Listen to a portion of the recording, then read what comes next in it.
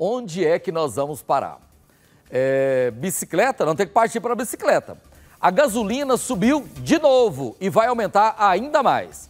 A Petrobras anunciou o aumento da gasolina e do diesel nas refinarias. Ariane, a, informação que esse aumento de ontem não era o aumento ainda que a, Petrobras anunciou ontem, não, né? Já era relacionado a um outro aumento, ou seja, vai subir ainda mais que o 7,27 que a gente está vendo na bomba. Boa tarde para você.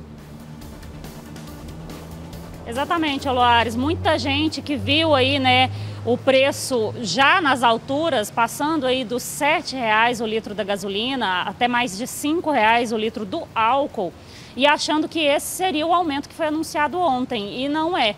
Aquele aumento de ontem foi um outro reajuste que teve ainda esse mês, que foi repassado, né, para a bomba. E agora, ontem, a Petrobras anunciou mais um aumento e esse aumento vai ser repassado ainda para as bombas, porque é a partir de hoje que os donos dos postos vão comprar com esse valor reajustado. É o segundo reajuste só este mês que veio da Petrobras. Então vamos, vamos colocar aqui alguns dados antes da gente conversar aqui com o Márcio Andrade, ele é presidente do Sindposto, está aqui com a gente. Mas só para vocês terem uma ideia, do início do ano para cá, foram 13 reajustes para o diesel, 15 para a gasolina. E no ano, a gasolina nas refinarias já subiu, nesse último ano, 73,4%. Ou seja, é realmente aquela onde é que nós vamos parar, né? Márcio, boa tarde para você. Se é que a gente pode falar boa tarde diante de tantos aumentos, a gente está se sentindo sufocado diante de tudo isso. E você, como presidente do Sindposto, o que está acontecendo? Que tanto de aumento que é esse?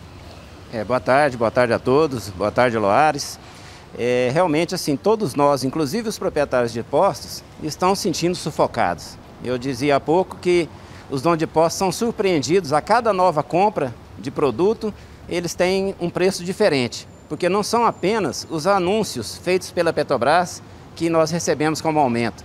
As distribuidoras, a cada dia, a cada semana, têm reajustado seus preços para os postos e os postos não conseguem nem repassar para o consumidor.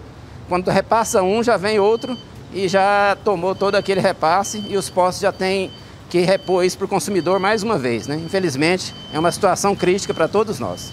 E a expectativa é de que seja em torno ali, de 20 centavos a mais no preço da gasolina? É. Agora, é, nesse último reajuste? Esses 20 centavos é o preço da refinaria, né? A refinaria, para vender para a distribuidora, vai aumentar 20 centavos hoje na gasolina e 28 centavos no diesel. Para o para o posto, nós ainda vamos receber hoje os produtos, né? A partir de hoje os postos começam a receber. Pode ser até mais se a distribuidora repassar mais do que isso para o posto. Márcio, e se continuar do jeito que está, como é que a gente termina esse ano? Será que é, seria exagero da minha parte falar que a gasolina pode chegar a 10 reais o litro no final do ano? É, infelizmente, pela, se continuarmos na situação que está indo, né? Eu, é, eu, espero que os 10 não, né? Mas é, realmente a perspectiva é de continuar aumentando os preços, né? E está já insuportável para nós, dono de posto, e para o consumidor está impraticável, né? O consumidor não consegue mais colocar no seu orçamento, o que prejudica o posto mais uma vez, porque o consumidor deixa de abastecer. Ele faz o seu transporte de outra forma, ele busca ir de bicicleta, vai a pé, vai menos vezes, né? Ao seu destino, para tentar economizar. Mas o importante é que o posto não antecipou o aumento que foi anunciado pela Petrobras. Ele repassou outros aumentos que estão tendo durante esse final de semana e que precisa ser verificado, inclusive nas distribuidoras, se há algum abuso por parte delas. Né? Esse é o importante deixar esse alerta.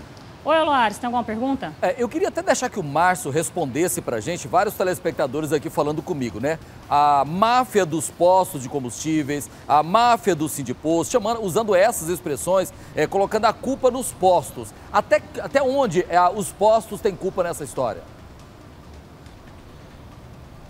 O Oloar está com participação de alguns telespectadores e muita gente às vezes ainda confunde, né? Coloca a culpa no posto, a máfia do posto. Então, até que ponto, né, vocês estão repassando? Eh, queria que explicasse isso para o telespectador.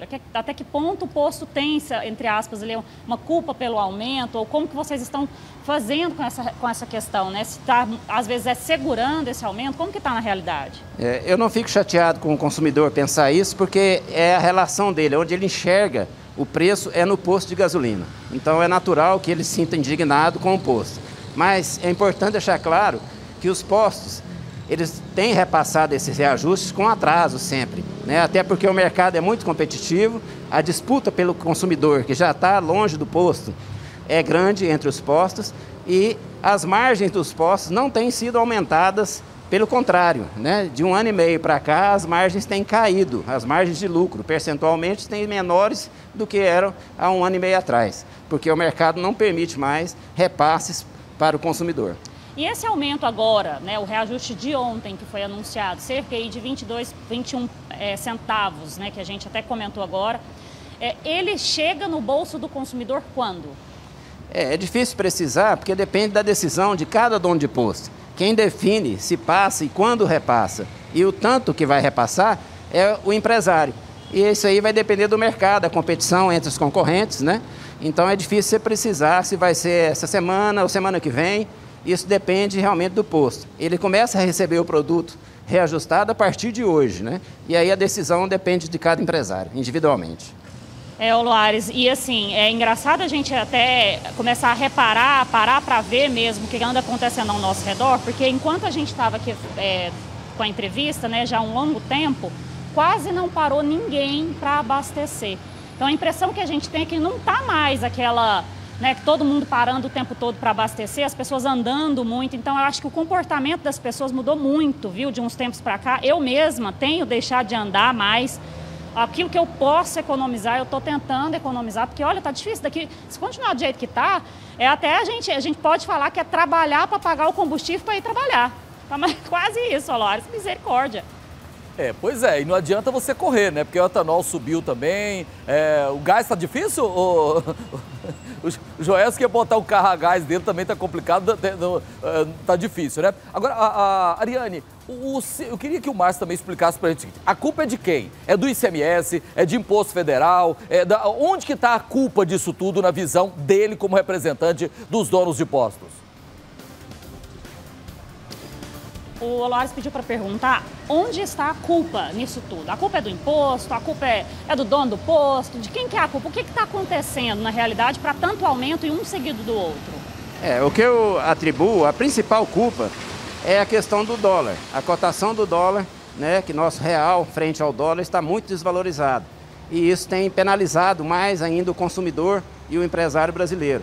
O que a gente percebe é que já teve petróleo a 100 dólares o barril alguns anos atrás e não teve esse problema todo porque o dólar estava numa cotação mais acessível.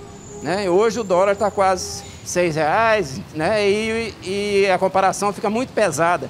Esse produto que a gente hoje paga em dólar.